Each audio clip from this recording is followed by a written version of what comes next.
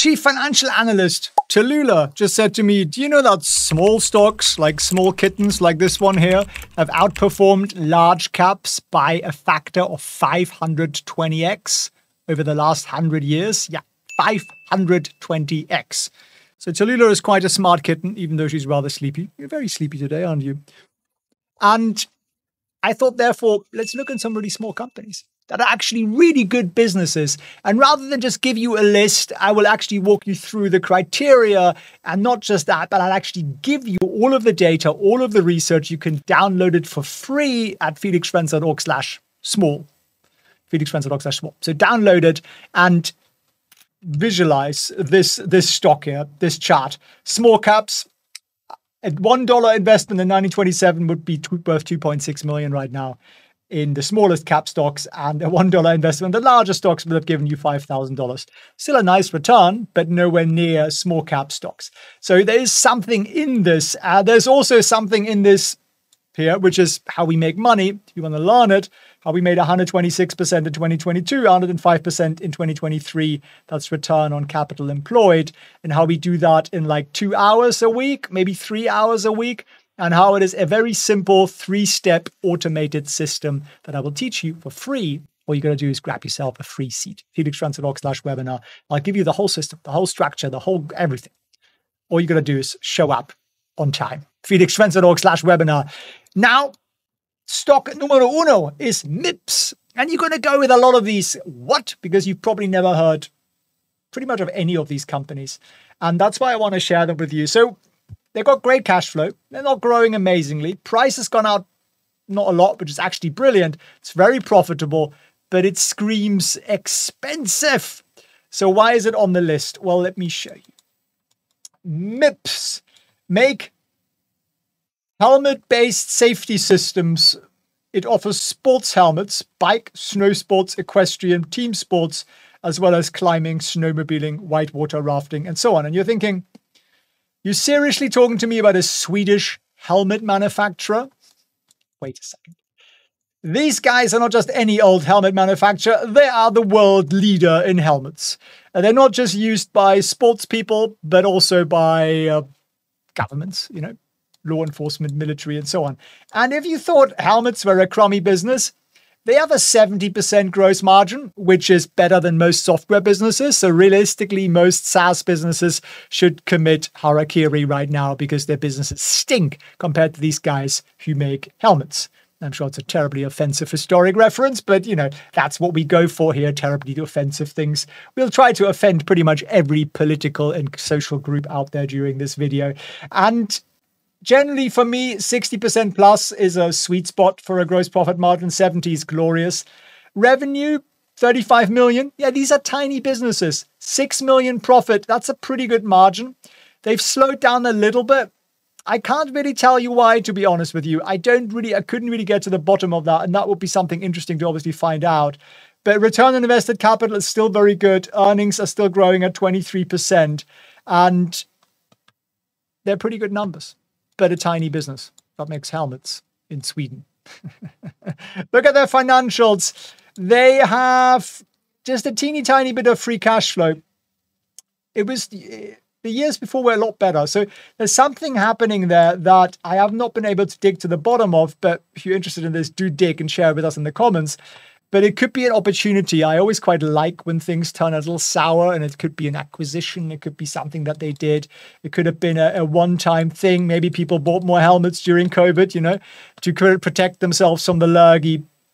And, and you can see that, yeah, revenue and market expectations, honestly, for small cap stocks like this, you can pretty much ignore this because no no analyst worth a salt cover stocks that small. They just don't. So you don't really have that data point, which is possibly also why there are opportunities in there. Now, what about this one? Kelly. And who the heck is Kelly? Well, cash flow is pretty decent, growth so so. Stock's gone up a lot, which we actually don't like, but it's very profitable and it's not very expensive. So, what the heck does Kelly do? Kelly is a chartered accounting business. I mean, really, it doesn't get any more dull than that, does it? Sorry if you're an accountant, but it's a pretty dull way to make your living, isn't it? I love my accountant. She's amazing, but I'd rather her than me. And they basically provide accounting and taxation and, and so on and outsource CFOs and everything else. And they do that with a pretty decent gross profit margin. But what I actually like is how they've been able to scale revenue and return on invested capital is pretty good. Long term earnings growth is pretty good. And if you look at these two numbers together, I'd sort of say that gets you to a 13 to 18% increase in share price in theory. That's not financial advice, that's just my uh, rule of thumb. I'd look at ROIC and long term earnings. And uh, 66 million revenue, 2.4 million net profit. Net profit not massively increasing. I think they are investing to grow. That's my feeling. But they do have free cash flow, 12 million a year. So they're obviously getting paid retainers, uh, monthly subscriptions essentially, which is which is good and, and, and very solid. So that's good to see. What about this one here? XPEL. Sounds kind of weird, doesn't it?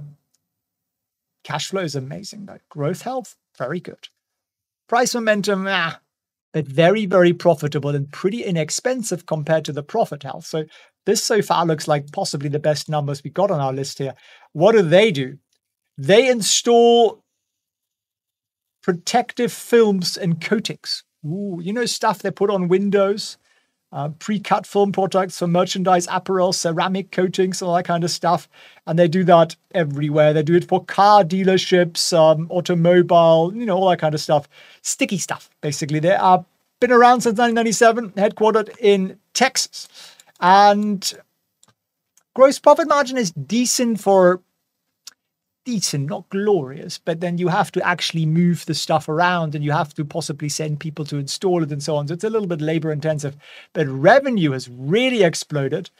Profit margin is very decent and return on invested capital at 28% is fantastic.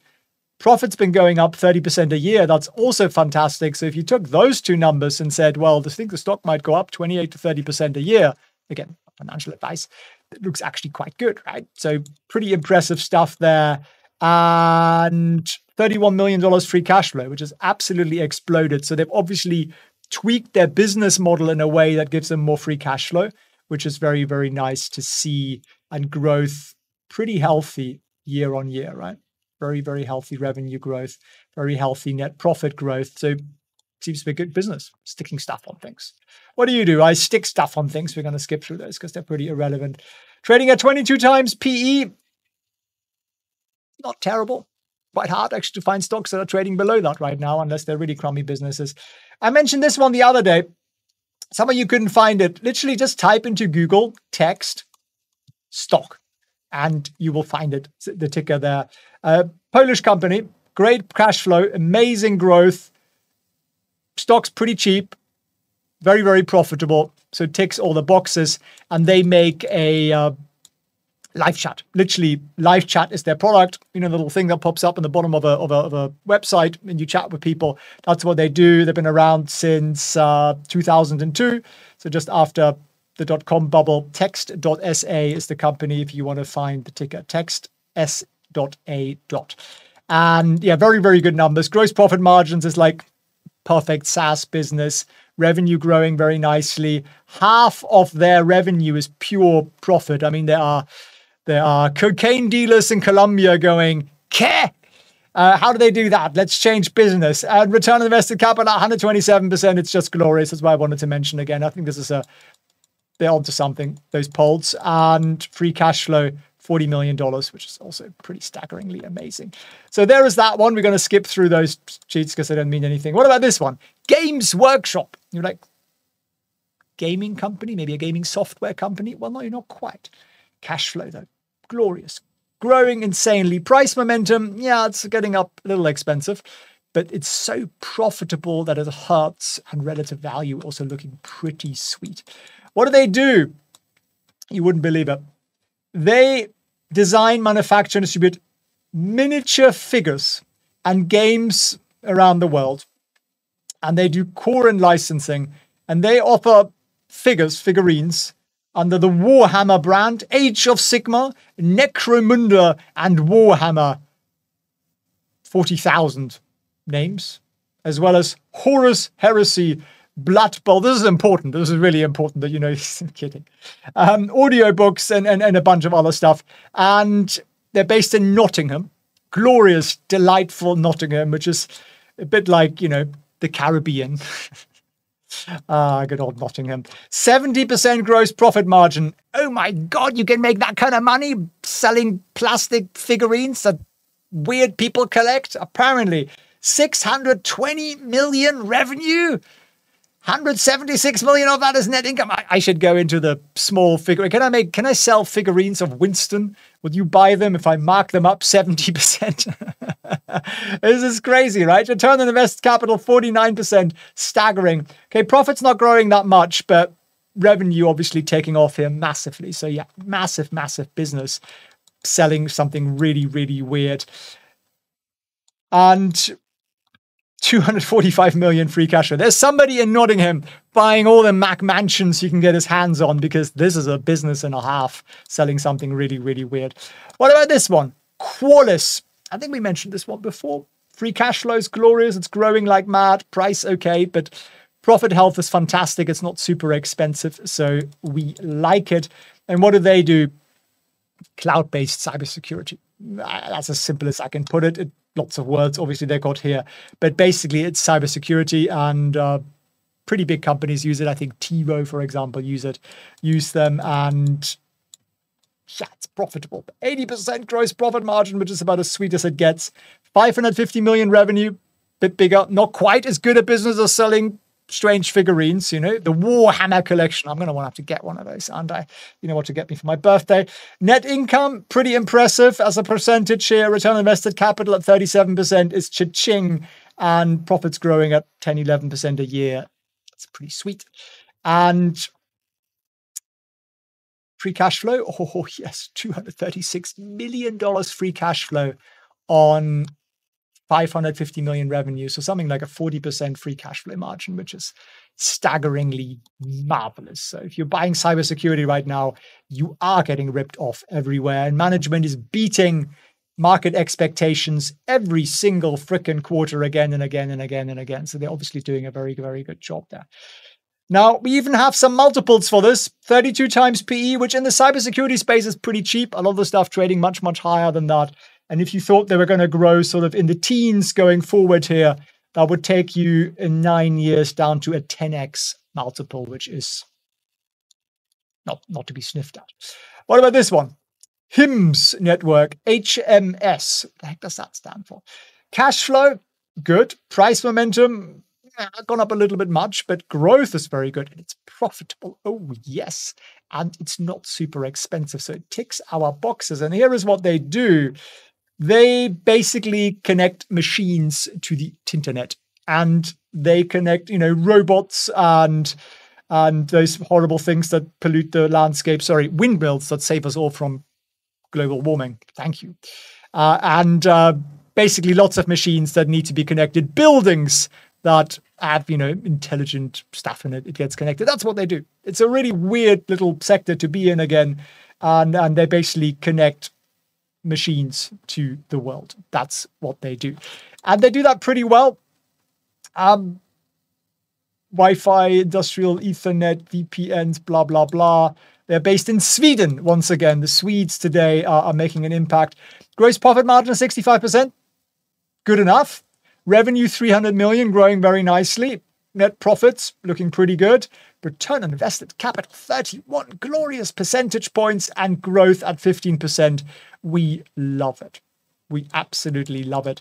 And free cash flow? Oh, yes, $48 million. So it's a well run business. That's all you can really say on that. Almost as much free cash flow as net profit here. So doing a good job, very little debt. So overall, a nicely managed business. Now, no real numbers there on the revenue. They are they are too small. So there we are. You got seven stocks, maybe five of them. I really like the top two. maybe a little at edge cases, but interesting businesses and some real weirdly diversified niches like helmets. So if you enjoy this video, you know what to do. One, get your hands on the full research, felixfriends.org slash small. Two, come and learn with us, learn how beginners can potentially make money by trading just a couple of hours a week and how we automate it, how simple it can be at felixfriends.org slash webinar. And if you enjoyed this video, share it. Thanks for watching. Winston and Felix here. And Winston just said to me, Felix, it's almost April. What stocks are we buying in April? And I thought, Winston, that's a genius idea.